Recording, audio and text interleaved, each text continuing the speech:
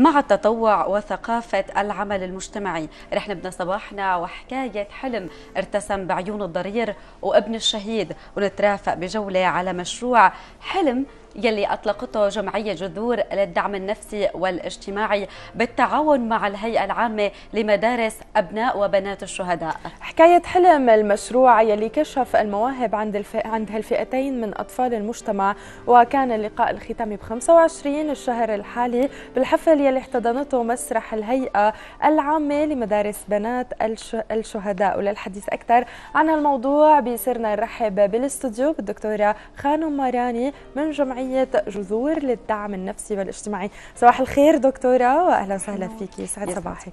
يسعد صباحك دكتورة وأهلا وسهلا فيك الله يسلمك شكرا. آه. بداية خلينا نحكي عن مشروع حكاية حلم.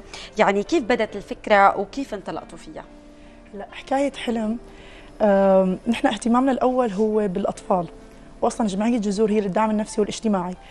فنحن بنعرف إنه بداخل كل إنسان في عنده كثير مواهب هو ما مكتشفها بلشنا من هيدا النقطة وتوجهنا للشرائح اللي ممكن كثير عالم ما بتكون متوجهة لها. فكان في من الخيارات المتاحة أمامنا آه، هي آه، أبناء الشهداء والمكفوفين. فنحن توجهنا لهم وبلشنا نشوف شو المواهب الموجودة عندهم ونعلمهم طرق لحتى يقدروا أكثر يعبروا عن الشيء اللي جواتهم. نعم. دكتورة خلينا نحكي أكثر من بعد يمكن ما تتعرفوا على المواهب وتحتضنوها يمكن فريق العمل أو فريق جذور كيف كيف بيتقسم كل واحد يمكن له مهامه كل واحد بيهتم بفئة ما من الأطفال. هون خلينا نفوت على الكواليس ونتعرف عن هالعمل أكثر. تمام. آه، هلا آه، نحن أول مرة بلشنا زيارات إنه نحن بنشوف الأولاد الموجودين. آه، بنعمل لهم مثل أنشطة مشتركة للكل. بلشنا إنه نركز مين العالم اللي قدرانه تغني مين قدرانه ترسم تمثل إلقاء. بعدين بلشنا نحفزهم لحتى يطلعوا الأشياء النادرة الاكثر الموجودة. ففي عالم طلعت تعرف تنحت في ناس بلشت ممكن تعمل أشياء بالعشب. بعد ما قدرنا نحصر المواهب بلشنا نتقسم لمجموعات. كل مجموعة صارت تابعة لحدا يقدر يدربها لحتى يطور المهارات الموجودة عندها. يعني تمام مثل ما آه، حكيتي إنه تم اختيار الأطفال. آه، آخر شيء توصلتوا ل 26 طفل بعدة مواهب غناء. آه، كيف كان التمرين؟ كيف تعاملتوا معهم؟ كيف كان الحماس عندهم؟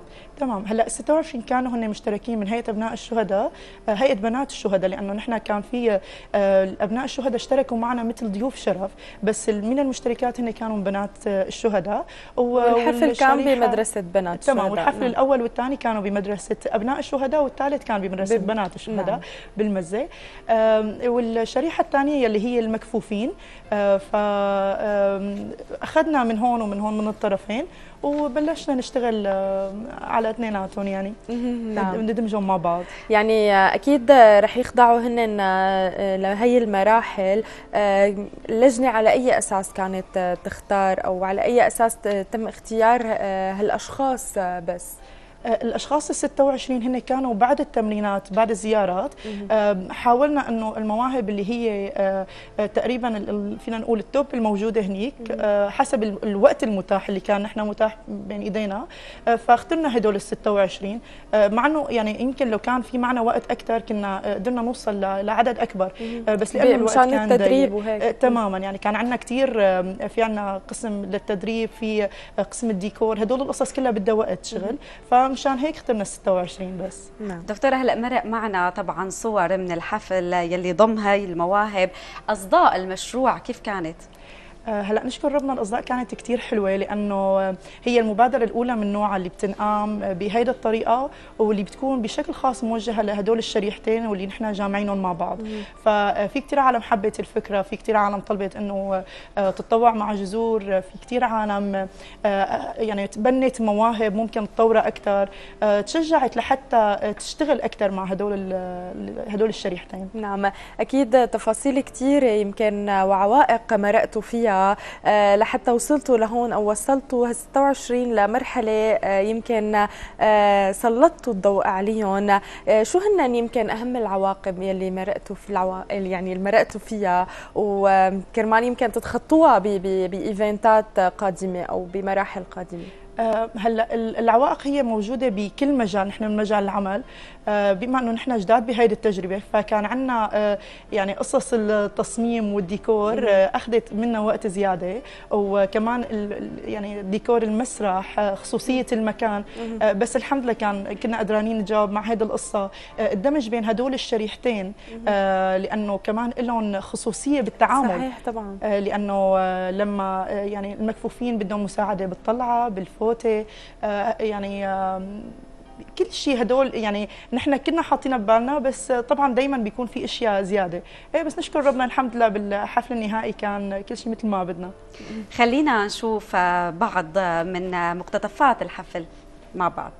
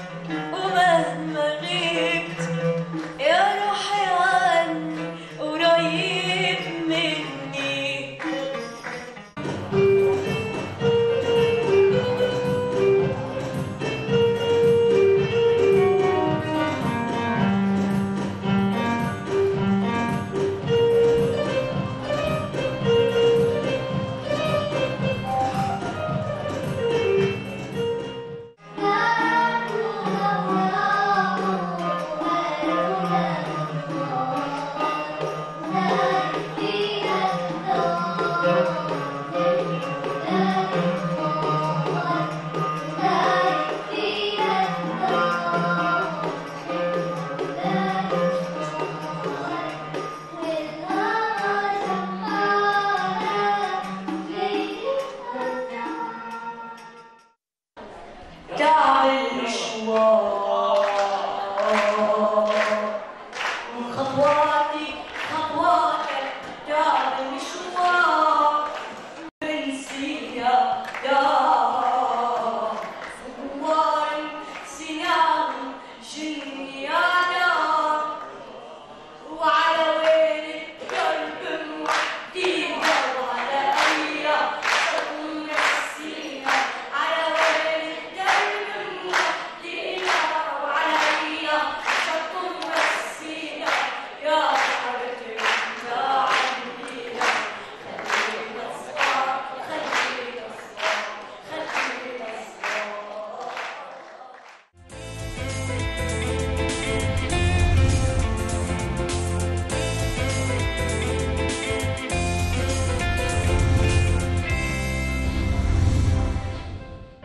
أكيد بدنا نقول مبروك لسليمان يلي شفنا آخر شيء هو اللي فاز بالمركز الأول.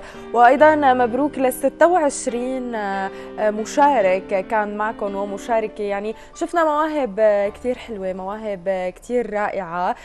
دكتورة من بعد هالحفل أو من بعد هالمراحل يلي هن تقدموا فيها شو رح يصير بمصير هالأطفال أو هو هالموهوبين خلينا نسميهم؟ هلا نحن برأينا مثل ما قلتي 26 يعني صراحة هن فائزين كلهم لأنه هن كلهم مواهب آه، كثير حلوة وإذا انشغل عليها بتطلع آه، يعني بتعطي كثير كثير نتيجة حلوة. صراحة لأنه ما حدا من المشهورين نحن بنعرفهم بهيدي الأيام وصل بسهولة. فهدول الأشخاص هن نحن إذا بنقدر نشتغل عليهم أكثر أكيد رح يقدروا يعطوا شيء كثير حلو.